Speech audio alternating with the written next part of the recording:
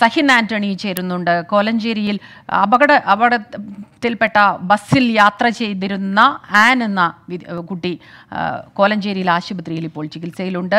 സഹിൻ ആന്റണി ആ വിദ്യാർത്ഥിയുമായി സംസാരിച്ചിരുന്നു. സഹിൻ കൂടുതൽ വിവരങ്ങളുമായി നമ്മളോടൊപ്പം ചേരുന്നുണ്ട്. സഹിൻ എന്തെല്ലാമാണ് വിവരങ്ങൾ? ആ കുട്ടിയുടെ ഒരു പരുക്ക് സാരമായതാണോ? എന്തെല്ലാം വിവരങ്ങളാണ് ആ കുട്ടിയിൽ നിന്ന് നമുക്ക് ലഭ്യമാകുന്നത് ഇപ്പോൾ?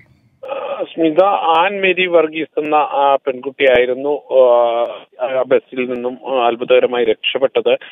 എന്തായാലും കുട്ടിയോട് നമുക്ക് സംസാരിക്കാൻ കഴിഞ്ഞു. Thumbur Siddhartha medical college dental കോളേജിൽ വിദ്യാർത്ഥിനിയാണ്. ഇന്നലെ വൈകുന്നേരം എട്ട് മണിയോടുകൂടിയാണ് താൻ ബസ്സിൽ കയറിയതെന്ന് ആൻ പറയുകയുണ്ടായി.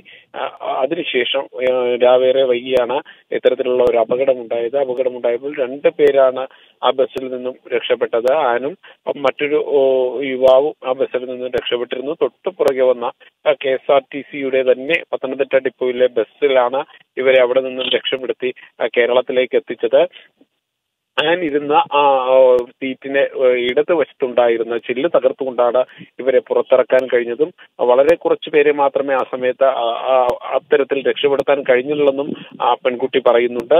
മാത്രമല്ല രക്ഷപ്പെട്ടപ്പോൾ തന്നെ ഒന്നും മനസ്സിലാക്കാൻ കഴിയാത്ത ഒരു മാനസികാവസ്ഥയിലായിരുന്നു ചുറ്റുപാടും നിലവിളികളും ഒപ്പം തന്നെ ആർക്കും ഒരു രക്ഷാപ്രവർത്തനവും നടത്താൻ കഴിയാത്ത രീതിയിലേക്കും കാര്യങ്ങൾ എത്തിയിരുന്നു എന്നും പെൺകുട്ടി വ്യക്തമാക്കുന്നുണ്ട്.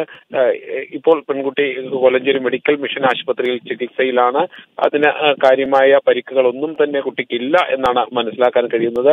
എന്നിരുന്നാൽ തന്നെ ഇത്ര വലിയ ഒരു അപകടം നേരിൽ കണ്ടതിന്റെ ഒരു മാനസിക ആഘാതം കുട്ടിക്കുണ്ട്.